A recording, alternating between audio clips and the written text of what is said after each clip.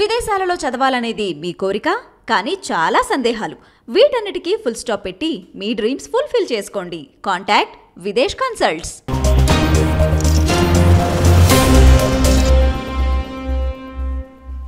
ఆంధ్రప్రదేశ్ రాజకీయమంతా రెండు కుటుంబాల చుట్టే తిరుగుతుండడం ఆసక్తికరమైన సన్నివేశం.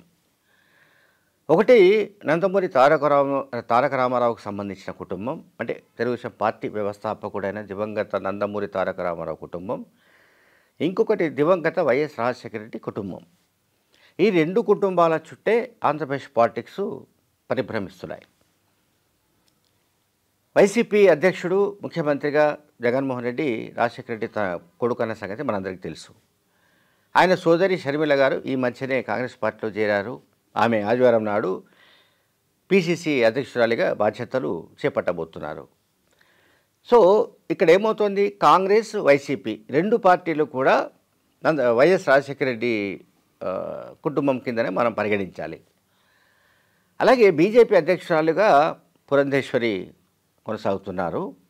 తెలుగుదేశం పార్టీ అధ్యక్షుడిగా చంద్రబాబు నాయుడు గారు ఉన్నారు. సో చంద్రబాబు నాయుడు గారిని పురంధేశ్వరి గారిని వీళ్ళంతా కూడా ఎన్టీఆర్ కుటుంబంగా మనం భావించాలి. ఎన్టీఆర్ పరివారంగా భావించాలి. అప్పుడు ఏమవుతుంది రెండు ప్రాంతీయ పార్టీలు రెండు రెండు జాతీయ పార్టీలు. ఒకటి కాంగ్రెస్ ఇంకొకటి బీజేపీ. కాంగ్రెస్ బీజేపీ అట్లాగే ఈ వైసీపీ.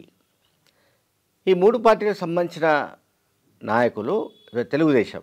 వైసీపీ బీజేపీ తెలుగుదేశం ఈ మూడు పార్టీలకు సంబంధించిన కాంగ్రెస్ పార్టీ ఈ నాలుగు పార్టీలకు సంబంధించిన నాయకుల్లో రెండు కుటుంబాల వాళ్ళే ఉండడం ఇక్కడ మనం గమనించాలి. జగన్మోహన్ రెడ్డి గారు అండ్ షర్మిల వేరు వేరు పార్టీలు అయినప్పటికీ కూడా వాళ్ళు వాళ్ళ ఆ కుటుంబం ఆ రెండు పార్టీల్లో ఇప్పుడు ఏమంటాం ఆధిపత్యం చెలాయించే దశకు చేరుకున్నారు.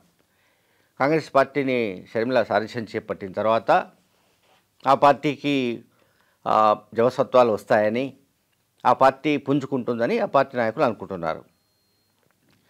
ఆమె వెనుక ఎమ్మెల్యేలు ఆళ్ళ రామకృష్ణారెడ్డి అట్లాగే రాయదుర్గం ఎమ్మెల్యే కాపు రామచంద్రారెడ్డి వైసీపీకి సంబంధించిన ఎమ్మెల్యే వాళ్ళు చేరతారని కూడా చెప్తున్నారు. మరి కొంతమంది కూడా చేరే అవకాశం ఉన్నట్టు తెలుస్తోంది. పక్కన పెడదాం. బట్ ఇక్కడ మాట్లాడుతుంటే కుటుంబాలు. అంటే రెండు రాజకీయ కుటుంబాలు నాలుగు పార్టీలను శాసించడం అనే ఒక సన్నివేశం బహుశా మనకు ఏ రాష్ట్రంలో కూడా లేదు.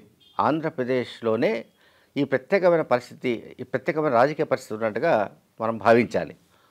అయితే దీంట్లో అంటే రేపు ఉన్నే వచ్చే ఎన్నికల్లో ట్వంటీ ట్వంటీ ఫోర్ ఎన్నికల్లో ఎవరు ఎక్కువ సీట్లు సాధిస్తారు? లేకుంటే ఎవరు ఎక్కువగా ఆధిక్యాన్ని ప్రదర్శిస్తారు? ఎవరికి ఎక్కువ ప్రజాదరణ లభించే అవకాశం ఉంది? ఎవరు అధికారంలోకి వస్తారు? లేకుంటే ఏ రకమైన ఫలితాలు రాబోతున్నాయి? ఏ రకమైన పరిస్థితుల్లో ప్రజలు ఎవరికి ఓటు వేయాలనే నిర్ణయానికి వస్తారు? ఇవన్నీ కూడా మనం ఎన్నికల నాటికి చూడవచ్చు అంటే ఓవరాల్గా నేను చెప్పాల్సింది ఏంటంటే రెండు రాజకీయ కుటుంబాలకు సంబంధించిన వాళ్ళు నాలుగు పార్టీలలో ఉండి నడిపించడం అన్నది ఒక డెవలప్మెంట్ మనకు ఆంధ్రప్రదేశ్లో కనిపిస్తోంది. సరే ఇది ఇప్పుడు బీజేపీ ఎటువంటి పెర్ఫామ్ చేయబోతుంది? బీజేపీ సింగిల్గా పోటీ చేయబోతుందా? లేకపోతే చంద్రబాబు నాయుడు గారు పవన్ కళ్యాణ్ గారు ఆశిస్తున్నట్టు వాళ్ళు కోరుకుంటున్నట్టు ఆ కూటమిలోకి ఆ కూటమిలోకి బీజేపీ రాబోతుందా? అలాగే మనకు కాంగ్రెస్ పార్టీ పిసిసి అధ్యక్షురాలుగా ఆంధ్రప్రదేశ్ కాంగ్రెస్ అధ్యక్షురాలుగా బాధ్యతలు చేపట్టబోతున్న షర్మిలకు ఎవరు టార్గెట్ అనేది కూడా చూడాలి. ఆమె మొదటి టార్గెట్ వైసీపీ కాబోతుందా?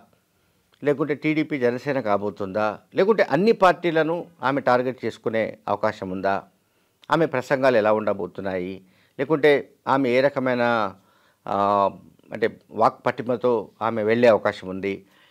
ఆమెను ఆమె ప్రజల్ని ఎట్లా అట్రాక్ట్ చేయబోతున్నారు? ప్రజలు ఏ మేరకు ఆమె వెంట ర్యాలీ కాబోతున్నారు? ఇవన్నీ కూడా చాలా అంశాలు ఉన్నాయి. వీ- వీటిని ఎట్లా అంటే ఏ రకంగా ఆమె హ్యాండిల్ చేస్తారు? కాంగ్రెస్ పార్టీకి ఆ పార్టీ హైకమాండ్ కోరుకుంటున్నట్టుగా దాన్ని ఎట్లా ముందుకు తీసుకెళ్ళే అవకాశం ఉంది? కాంగ్రెస్ పార్టీ ఏ మేరకు స్వింగ్ అయ్యే అవకాశం ఉంది?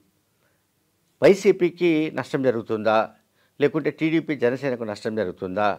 ఏ పార్టీకి షర్మిల కారణంగా నష్టం జరుగుతుందన్నది కూడా ఇప్పుడు చర్చల్లో ఉంది. Thank you very much